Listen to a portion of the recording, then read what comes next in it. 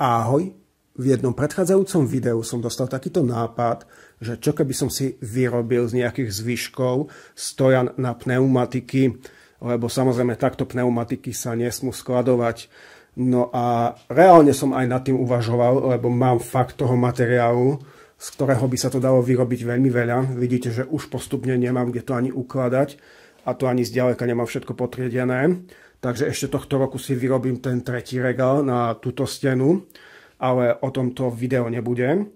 Video bude o tom, že jednoducho som sa rozhodol, že si to radšej kúpim. A musím povedať, že e, to, že som si to kúpil, tak za to môžu tieto štyri veci. Jedna, druhá, tretia, štvrtá vec, lebo toto keby som chcel vyrobiť doma, tak e, nad týmto by som strávil dosť veľa času. Tie ostatné profily a tak ďalej, to človek zvarí za zo pár minút, ale tieto držiaky, ktoré by mali prakticky, na ktoré by sa mali dať tie kolesa, tak buď by som to musel vyrábať z nejakej preglejky, alebo nejak zložiť toto vyrábať, tak kvôli tomu som si to kúpil, že jednoducho asi to za tých 20 eur bude stať. Inak sú tu ešte nejaké ďalšie bonusové veci, možno aj táto mierka, určite aj táto plachta sa zíde a tie ostatné veci asi ani nevyužijem.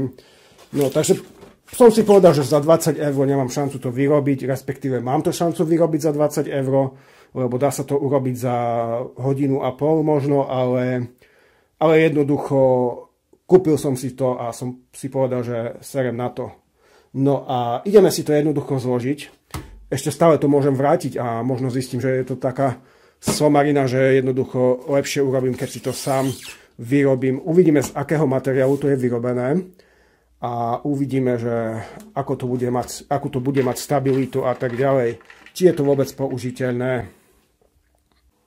Takže poďme sa pozrieť na tento zázrak, že čo to obsahuje. No a na aké pneumatiky to vôbec slúži. Samozrejme je to na niečo menšie, čiže ako vidíte 18 maximálne. Čiže určite tam nedáte nejaké 22 a to na to potrebujete podstatne väčší stojan. No, môžeme si to eh, odbaliť a som zvedavý, čo tam všetko bude a čo z toho sa bude dať použiť.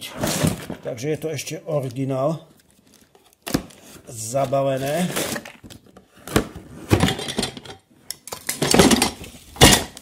Eh, samozrejme predpokladám, že to bude veľmi tenký materiál. Toto bude plachta. Neviem, či to budem používať, ale keď to mám, tak asi áno. Eh, čiže aj keď mi je jedno, či sa bude prašiť na tie pneumatiky, ale keď to mám, tak prečo nie? Uh, tak. No, skrátka, obyčajná plachta, potom si to ukážeme. Asi ten návod asi nebudeme čítať. No a čo sa týka tohto materiálu, tak to môže byť... Hm. Neviem, je to dosť ľahké, ale to vyzerá na to, že to je minimálne jednotka matroš.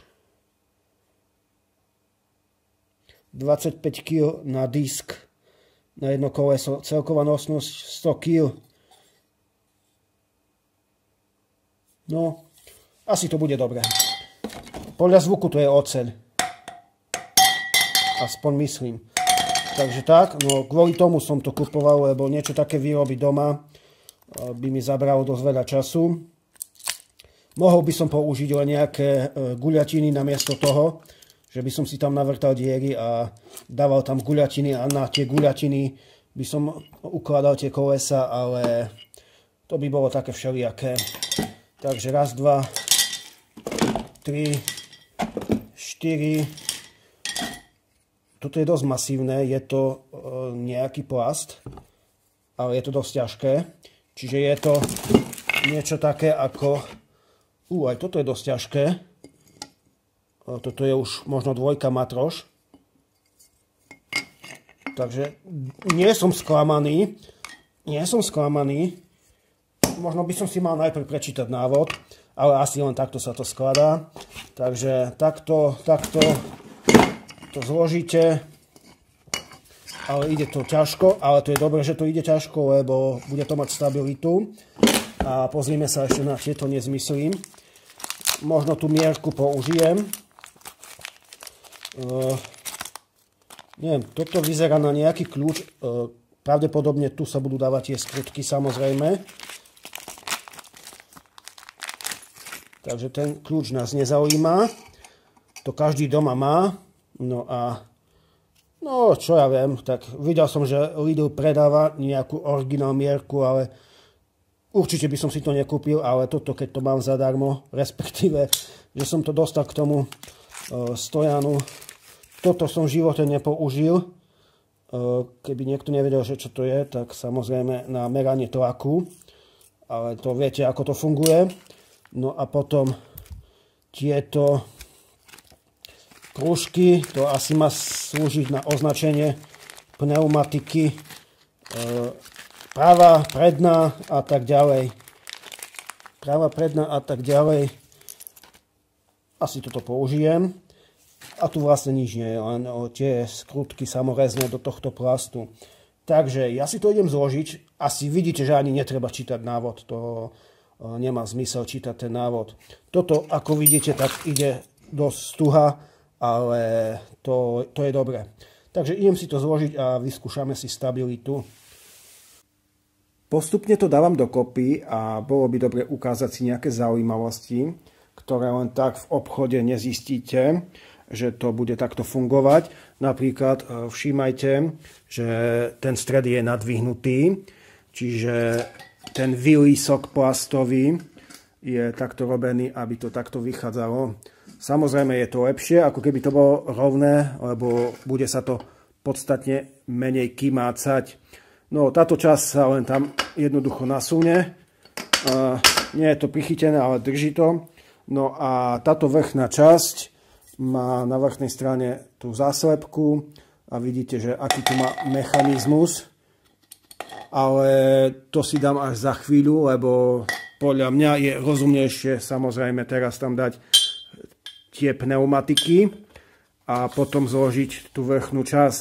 Čiže idem si to dať dokopy a vyskúšame si, že ako sa to bude kýmácať.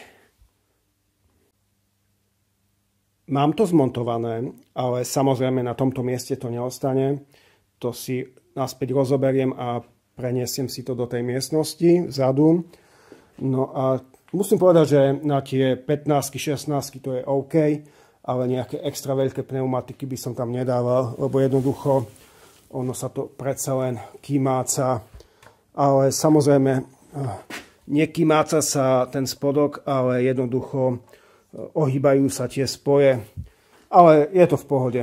Keby som to vyrábal samozrejme, tak by to bolo eh, zvarené na tvrdo, takže by sa to vôbec nehybalo, ale za tie prachy, čo by človek chcel, Schválne napíšte pod video, že či by ste to vyrábali alebo či by ste si to kúpili. Inak môžeme sa pozrieť na tú mierku. No a je to veľmi jednoduché samozrejme.